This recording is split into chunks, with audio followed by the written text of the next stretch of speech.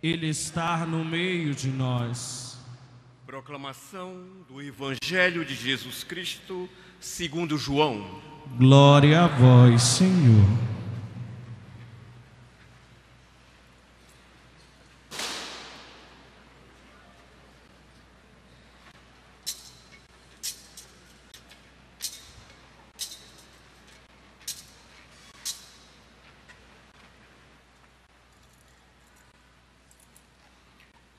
Naquele tempo, Jesus ergueu os olhos para o céu e rezou, dizendo: Pai Santo, guarda-os em teu nome, o nome que me destes, para que eles sejam um, assim como nós somos um. Quando eu estava com eles, guardava-os em teu nome, o nome que me destes eu guardei-os e nenhum deles se perdeu, a não ser o filho da perdição, para assim cumprir a Escritura. Agora eu vou para junto de ti e digo estas coisas estando ainda no mundo, para que eles tenham em si a minha alegria plenamente realizada. Eu lhes dei a tua palavra, mas o mundo os rejeitou, porque não são do mundo, como eu não sou do mundo. Não te peço que os tires do mundo, mas que os guardes do maligno. Eles não são do mundo, como eu não sou do mundo. Consagra-os na verdade. A tua palavra é verdade. Como tu me enviastes ao mundo, assim também eu os enviei ao mundo eu me consagro por eles, a fim de que eles também sejam consagrados na verdade. Palavra da salvação. Glória a vós, Senhor.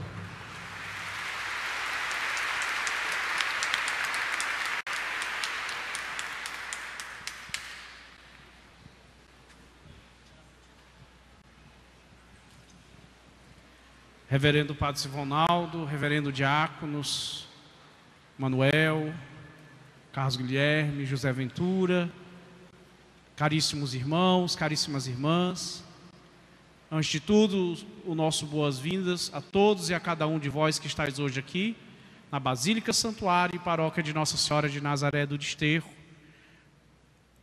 a Rainha da Amazônia, o Santuário da Rainha da Amazônia, Domus Dei et Portacelli. E a todos vós que nos acompanhais pela Rádio Web Basílica de Nazaré e pelo Facebook da Basílica de Nazaré. Muito obrigado pela sua conexão aqui conosco nesta noite de hoje, onde nós louvamos o Senhor, intercedemos,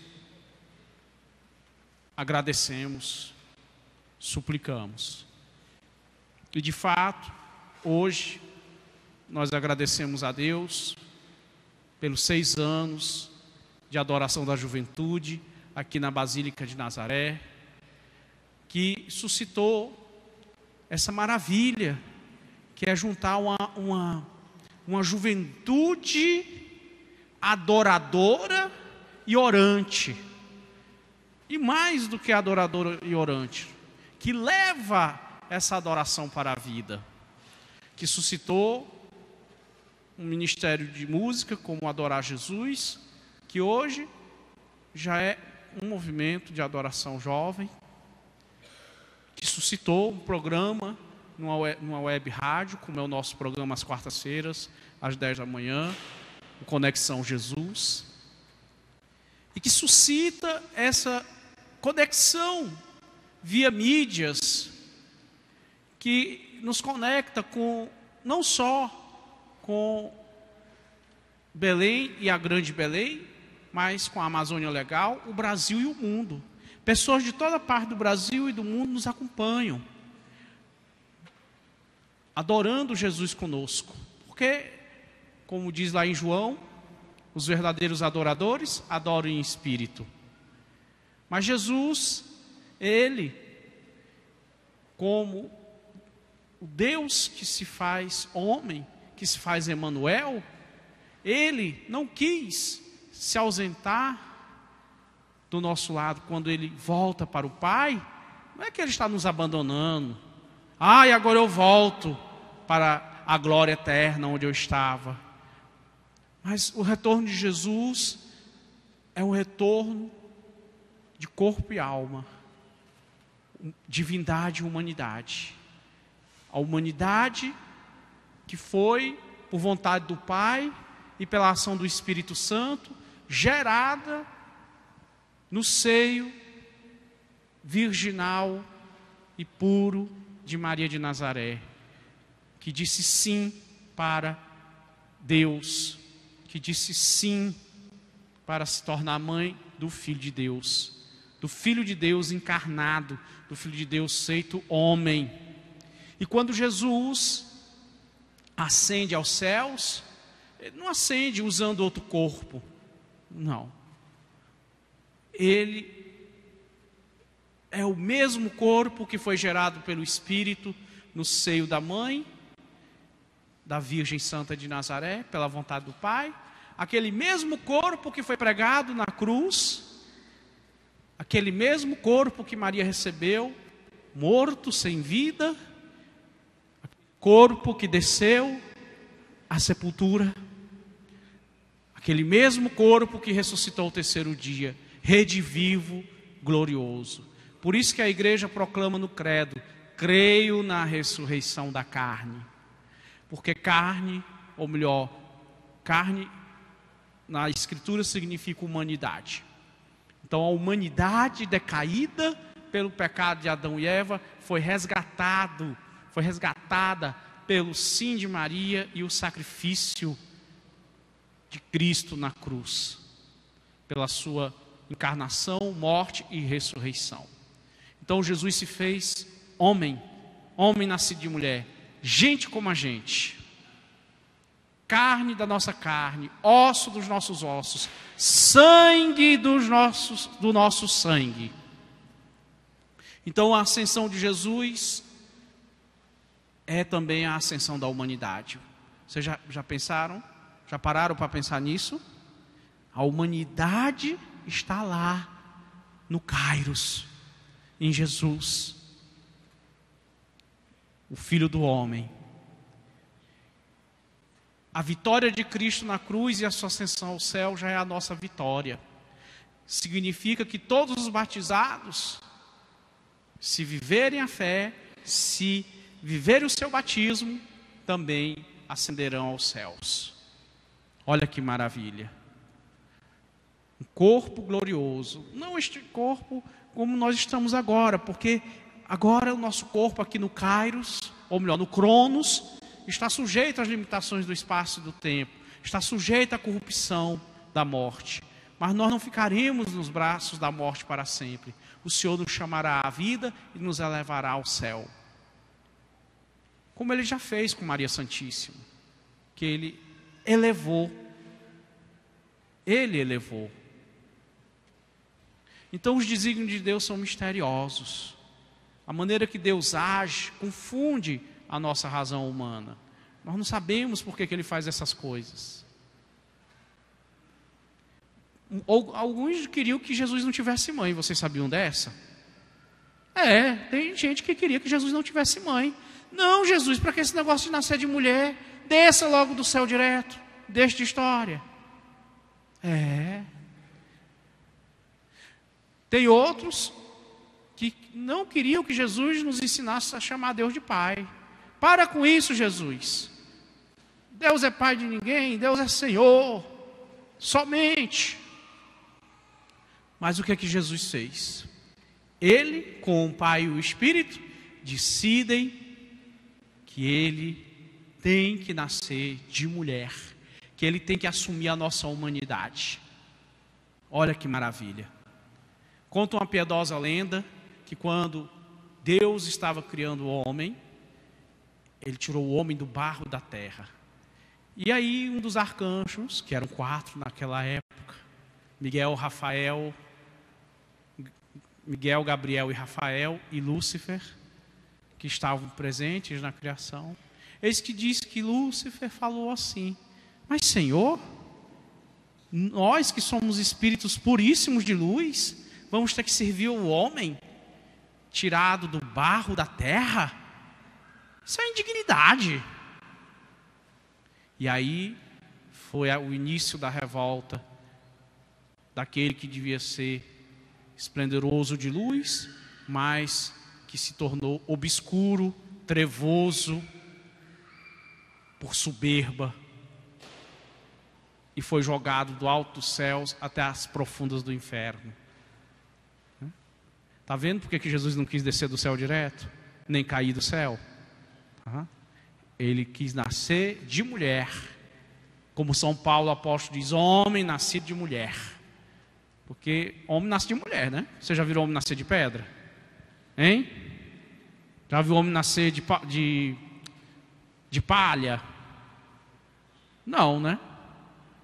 Ele nasce de mulher. Tanto que a palavra matrimônio, né, se você for ver a origem dela, está na, na, na expressão matris officium, ofício de mãe, ou officium matris ofício de mãe. Hum? Comemoramos no domingo da Ascensão este ano a providência é, providenciou para que fosse 13 de maio, comemorando as aparições da Virgem Maria em Fátima e o Dia das Mães. Olha que maravilha. Até Jesus comemorou o Dia das Mães, porque Jesus tem mãe, não é, gente? Tem ou não tem? Ah, eu pensei que vocês não sabiam disso. Não está escrito lá que ele disse: Mãe. Está escrito. É bíblico. Jesus disse: Mãe.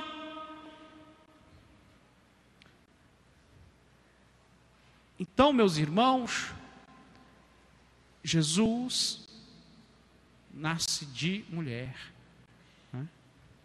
nasce de mãe. E a mulher tem esse ofício maravilhoso que é ser mãe.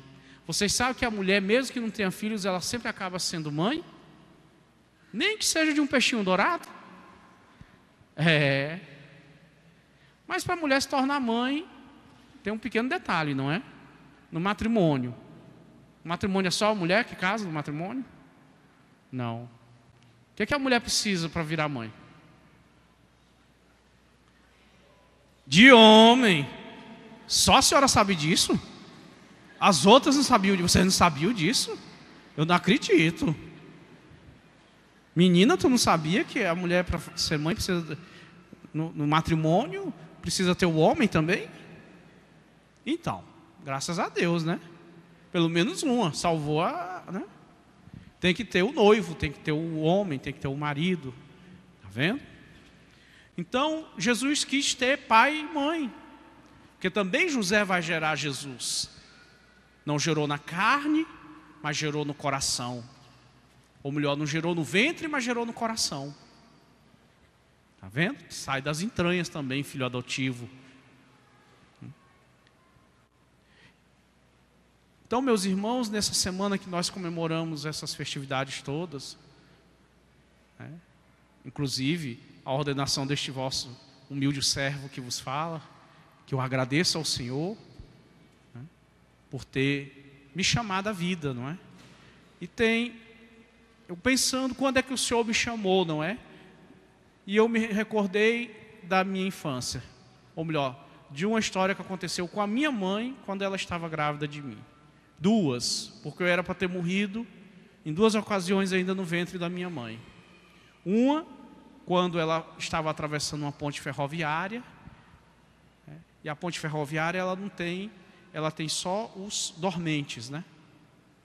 Ela não tem, ela não é inteiriça, tem os dormentes e os trilhos. Então tem espaços entre os dormentes.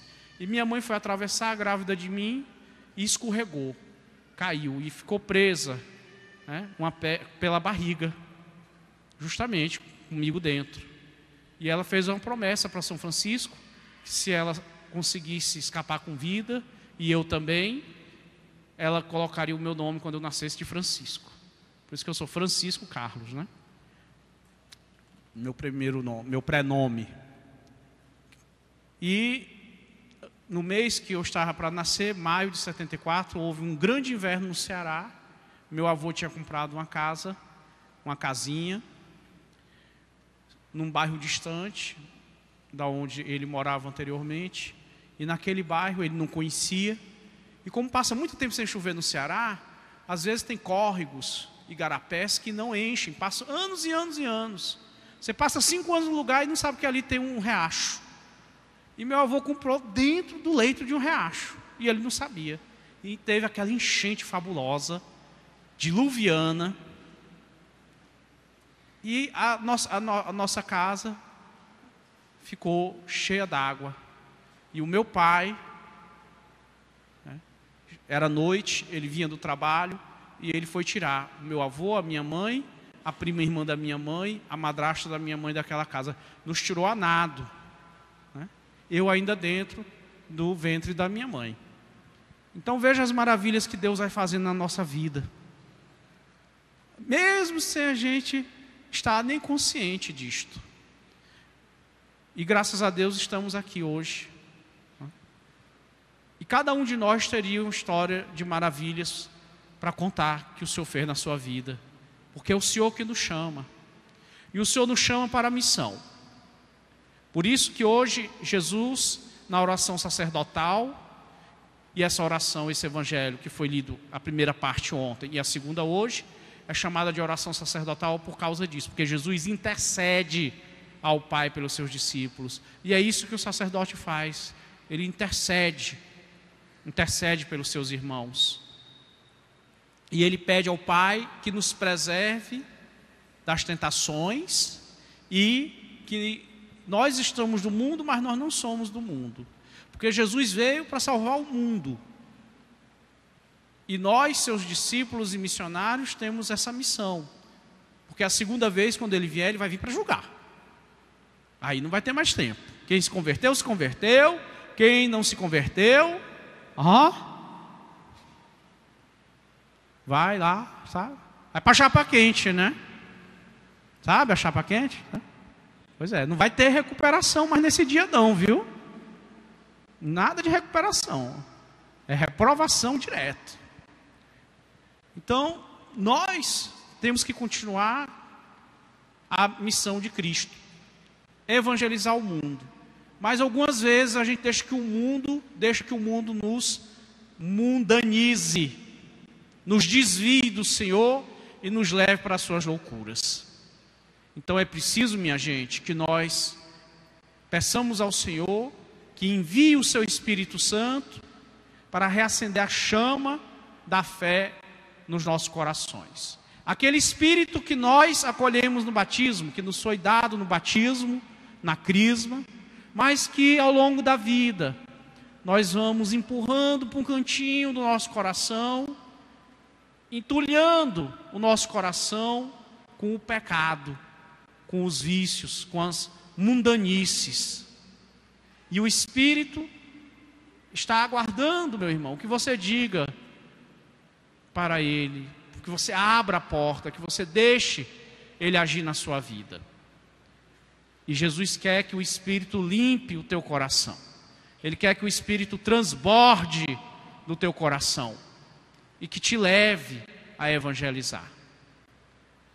Amém? Então, vocês estão dispostos a assumir o vosso batismo? O vosso chamado?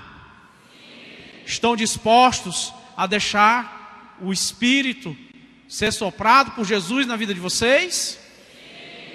Vocês estão dispostos a se deixar guiar pelo sopro do Espírito Santo?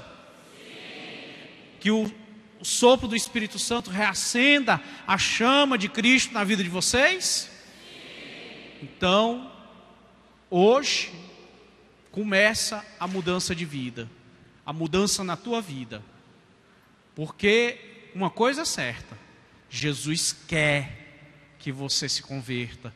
Jesus quer que você se torne um cristão verdadeiro. Jesus quer que você participe da missa aos domingos. Jesus quer que você tenha uma vida de confissão, de oração. de combate às más inclinações, de fuga do pecado. Jesus quer que você tenha uma vida de prática das obras de misericórdia. Jesus quer. Agora a pergunta é: e tu? Tu queres? Vamos perguntar para o irmão que está do lado: Tu queres? Tu queres? Tu queres? Tu que estás aí no Face? Jesus quer, tu queres? Diácono Manuel, queres que Jesus haja na tua vida? Quero. Diácono Carlos, queres que Jesus sopre o Espírito Santo na tua vida? Com certeza quero. Padre Sivonaldo, quer que o Espírito Santo sopre na sua vida, que Jesus sopre o Espírito Santo? Quero. Diácono Ventura, quer, quer que Jesus sopre o Espírito Santo na sua vida? Quero, claro que sim. Então, vou convidar aqui, convidar o padre Simonaldo e os diáconos, cheguem aqui, vocês. Todos nós aqui batizados. Quem foi batizado aqui? Eu. Ah. Ótimo. Então, nós vamos agora soprar o Espírito uns sobre os outros. Amém? No 3, hein? Todo mundo. Fique de pé para sair o ar melhor, né? Enche os pulmões. Ninguém está gripado, não, né? Quem tiver gripado, não faça, não faça isso, tá? Por favor, né? É para soprar o espírito de vida, não o sopro da morte. Ave Maria. Vamos lá no 3, hein?